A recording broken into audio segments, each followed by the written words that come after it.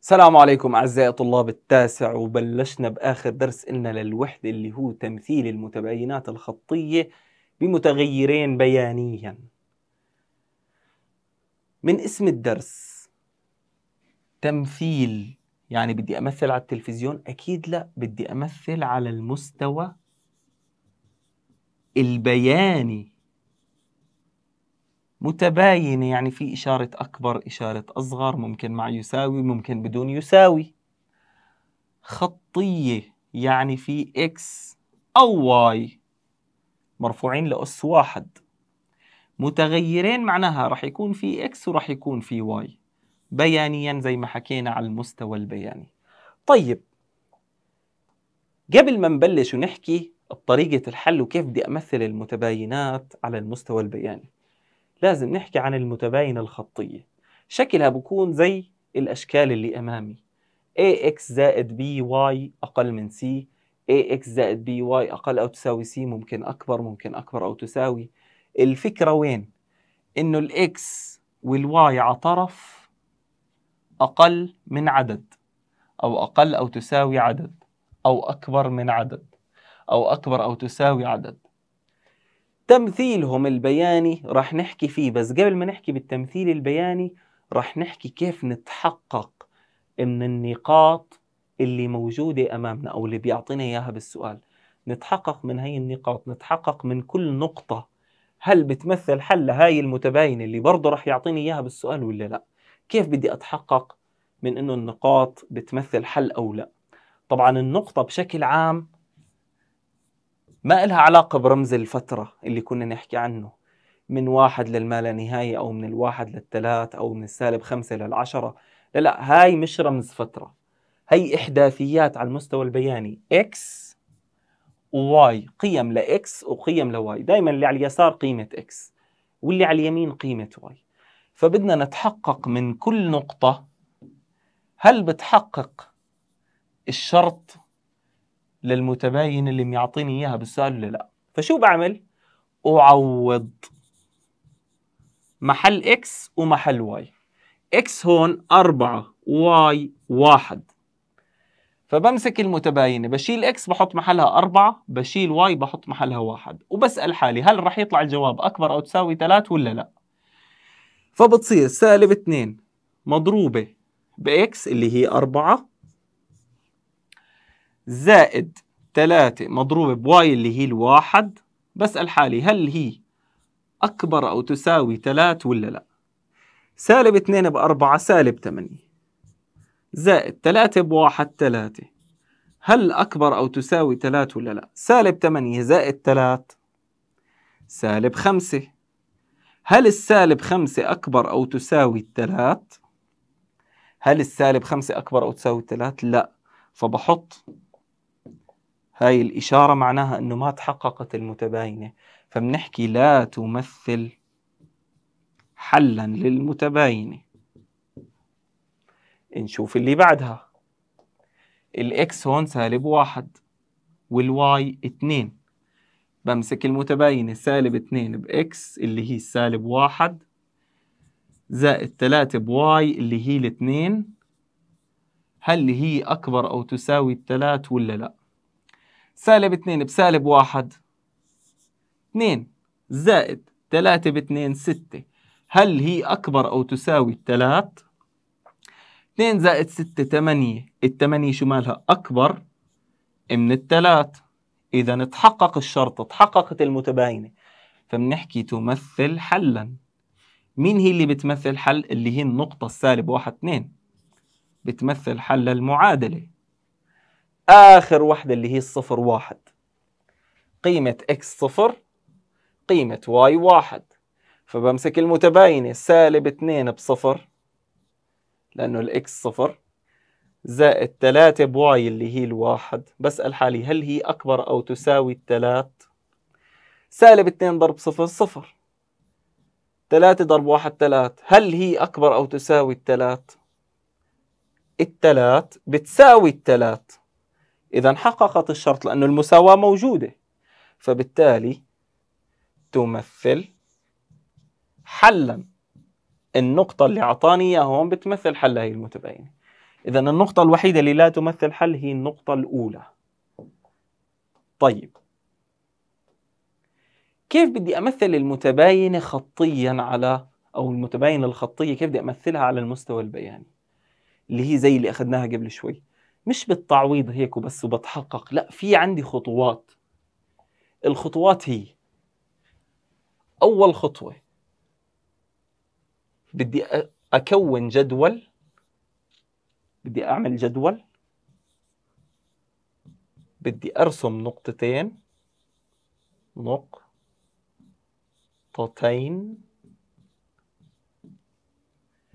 ثالث إشي بدي أرسم خط بين هدول النقطتين.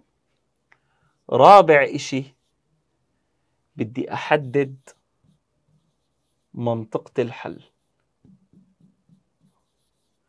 فبدنا نركز مع بعض عشان نمشي بالأربع خطوات هدول. طيب نبدأ بأول خطوة اللي هي الخطوة اللطيفة الجدول. جدول على للإكس والواي. هذا الجدول فيه أربع قيم. مرة بحط لل x صفر مرة بحط لل y صفر بعديها بشوف شو القيم اللي بدها تطلع معي. بس كيف بدي أعرف شو هي القيم؟ بمسك المتباينة كلها السالب x زائد 2 y وبدل ما أحط إشارة المتباينة بحط يساوي. هل دائما بعمل الحركة هي؟ آه دائما هل دائما بعملها بالخطوة الأولى؟ آه دائما هيك بعمل. وببلش أعوض. ال x الأولى صفر فبتصير هي كلها صفر. زائد 2 y تساوي 2 يعني 2 y تساوي 2 على 2 على 2 فال y طلعت معي واحد. فبحط بالجدول محل y إيش؟ واحد. فصارت عندي نقطة اللي هي صفر واحد. هسا يا سيدي العزيز بعمل نفس الحركة بس راح أعوض محل y صفر. فبتصير سالب x زائد 2 y بحطها يساوي 2 وبعوض محل ال y صفر فبتصير هاي كلها صفر. سالب x زائد صفر بتساوي 2 يعني سالب x بتساوي 2 كيف بدي أتخلص من السالب؟ بقسم على سالب واحد بقسم على سالب واحد. ف x تساوي 2 تقسيم سالب واحد سالب 2 فمعناها إنه قيمة x هون سالب 2 يعني النقطة راح تكون سالب 2 صفر. فأنا هيك بكون حددت أو طلعت نقطتين. هسا شو بعمل؟ بمسك المستوى البياني. القيم اللي عندي أو النقط اللي عندي صفر واحد. يعني على ال x صفر على ال y واحد. فهاي هي النقطة. النقطة الثانية. على ال x سالب اتنين هون وعلى ال y صفر. يعني هاي هي النقطة على محور ال x لاحظ لما يكون ال x صفر بكون على محور ال y النقطة. لما تكون ال y صفر بكون بتكون النقطة على محور x. هسا هدول النقطتين خلص خلصتهم خلصت الجدول رسمت النقطتين ضل آخر إشي أو قبل الأخير اللي هي إني أوصل بينهم بخط. وصلت بينهم بخط. شو هالخط هذا؟ لا. وصلت بينهم بخط. هذا الخط. لأنه فيش إشارة يساوي لأنه فيش إشارة يساوي عند الأكبر هون. الخط هذا برسمه بشكل متقطع.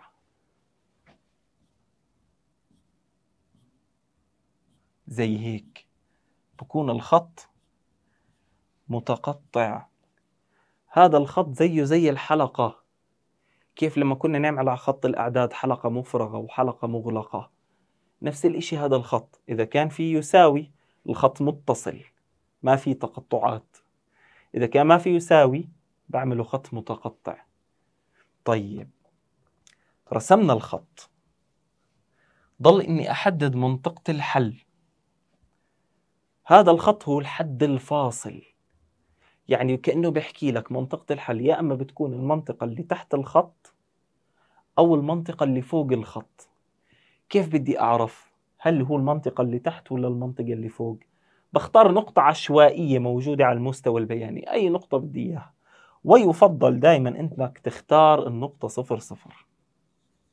لأنها أسهل إشي بالتعويض. راح نختار النقطة صفر صفر ونعوضها إذا طلعت صفر صفر بتحقق المعادلة معناها الجهة اللي تحت كلها إيش؟ منطقة حل لأنه بتشمل الصفر الصفر صفر بس إذا ما طلعت هي لعد المنطقة اللي تحت مش داخلة بالحل فإيش؟ بظلل اللي فوق فهسه شو بعمل؟ بدي أتحقق من النقطة صفر صفر وبدنا نختار اللون الأسود هالمرة هاي فبعوض محل x صفر فصارت كلها صفر زائد محل y صفر. بسأل حالي هل راح تكون أكبر من اثنين؟ صفر زائد صفر صفر. صفر أكبر من اثنين؟ لا. صفر مش أكبر من اثنين. إذا منطقة الحل اللي بتشمل الصفر صفر راح نستبعدها. فمنظلل المنطقة الأخرى اللي هي فوق الخط اللي رسمته. فهاي هي منطقة الحل. تعرف هاي شو معناها؟ معناها أي نقطة بتختارها على المستوى البياني موجودة بهي المنطقة على الأكيد رح تحقق لك المتباينة طب لو اخترت نقطة على الخط المتقطع زي هدول النقاط هل راح تحقق المتباينة ولا لا؟ لا ليش؟ لأنه فيش إشارة يساوي وهذا خط متقطع معناها بيشملش الحل هو حد فاصل بس ما بيشمل الحل الحل كله موجود بالمنطقة المظللة بالأسود فهيك أنا بكون مثلتها على المستوى البياني. نشوف كمان فكرة. اللي هي هاي. حكينا كم من خطوة بدنا نعمل؟ أربع خطوات.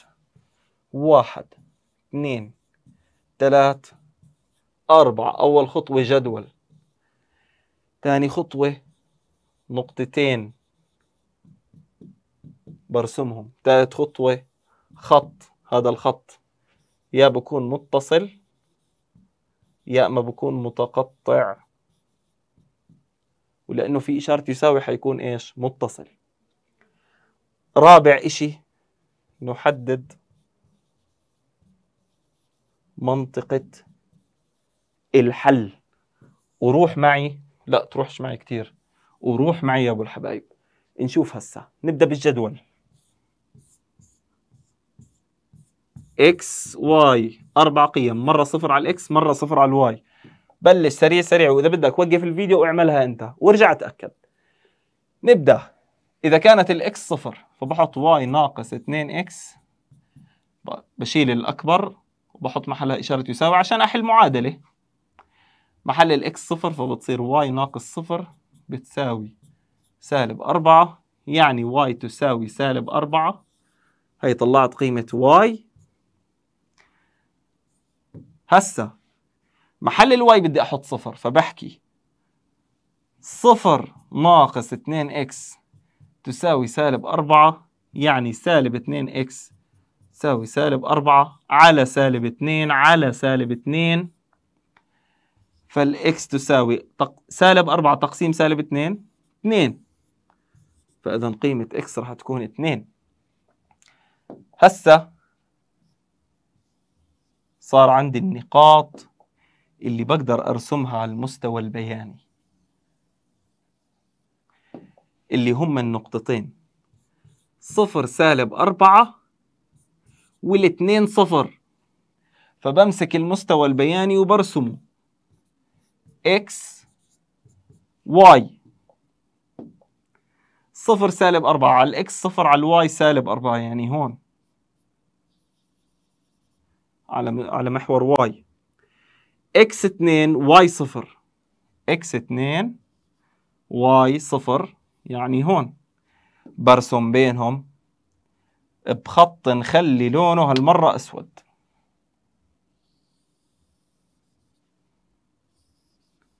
أخليه متصل ولا أقطعه؟ خليه متصل. ليش؟ لأنه في إشارة يساوي. خليه متصل. بعد ما خليته متصل بدي أختار نقطة. صار في عندي خط في منطقة فوقه وفي منطقة تحته. فأنا بدي أعرف هل المنطقة اللي فوق هي منطقة الحل ولا اللي تحته؟ فبختار الصفر صفر وبتحقق عن طريقها.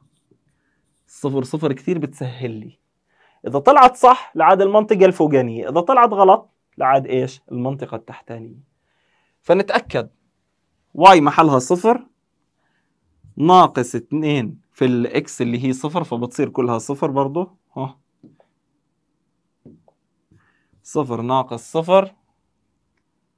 أقل أو تساوي بدي أسأل حالي من السالب أربعة ولا لا؟ الصفر أقل أو تساوي سالب أربعة؟ لا الصفر أكبر من السالب أربعة. إذا ما حققت المتباينة فبالتالي هي المنطقة بستبعدها. إذا وين التضليل حيكون؟ المنطقة اللي تحت. فهيك أنا بكون مثلت المتباينة على المستوى البياني. هون مع إشارة اليساوي طبعا. فعشان هيك حطيت الخط متصل. طيب. هسا بدنا نشوف إذا كان عندي متغير واحد. مثلا x. مثلا y. إحنا تعودنا x و y. بس لو كانت تتكون من متغير واحد. شو بنعمل؟ متغير واحد بكل بساطة. إما حيكون x أو حيكون y. هيك السؤال.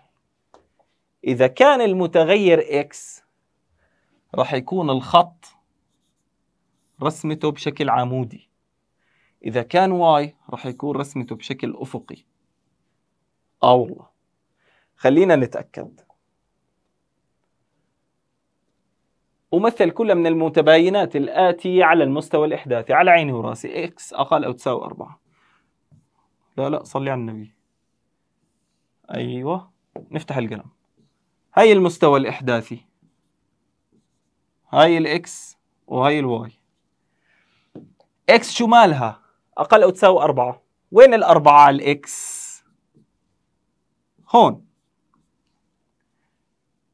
حكينا ال x شو بكون الخط؟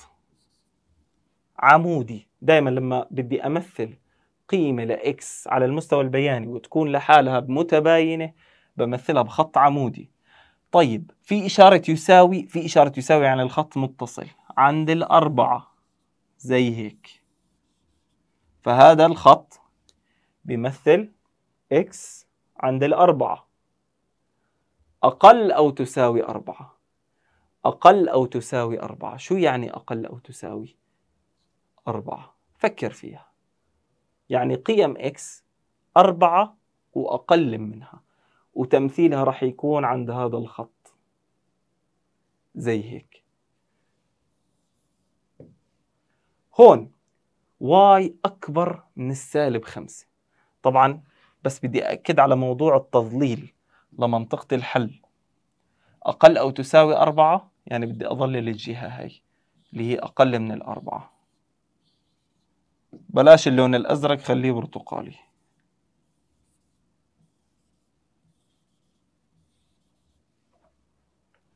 هون. برضه بنرسم المستوى البياني. x y قيمة y شو مالها؟ سالب خمسة. على الواي سالب خمسة هون. حكينا y يعني خط أفقي. فبرسم خط أفقي. ولأنه فيش إشارة يساوي. بعمله متقطع. ضروري إنك تعمله متقطع. الواي شو مالها؟ أكبر من السالب خمسة. أكبر. فبظلل خلني أختار الأزرق. فبظلل المنطقة العلوية اللي هي أكبر من السالب خمسة. طيب هون عندك y أكبر أو تساوي صفر. هذا السؤال كثير سهل بس بده تفكير. وما راح أحله بسرعة راح أعطيك مجال تفكر. هلأ بما إنه y خط أفقي بس عند الصفر يعني وين؟ وهي جهزت اللون الأحمر عشان أحط الخط الافقي بس شو يعني عند الصفر أو أكبر أو تساوي صفر؟ وين الصفر تبعت ال y اللي هو نفسه الخط الأفقي اللي بيعبر عن محور x y أكبر أو تساوي صفر؟ y تساوي صفر بشكل عام المقصود فيها محور إكس طب إكس تساوي صفر اللي هو الخط العمودي اللي بيعبر عن محور y فإذا y أكبر تساوي صفر بتبلش من عند الصفر على y اللي هي القيمة هون قيمة y صفر هون بتكون موجودة على محور x نفسه. بما أنه في إشارة يساوي بخليه متصل وبما أنه أكبر يعني بدي أظلل للأعلى.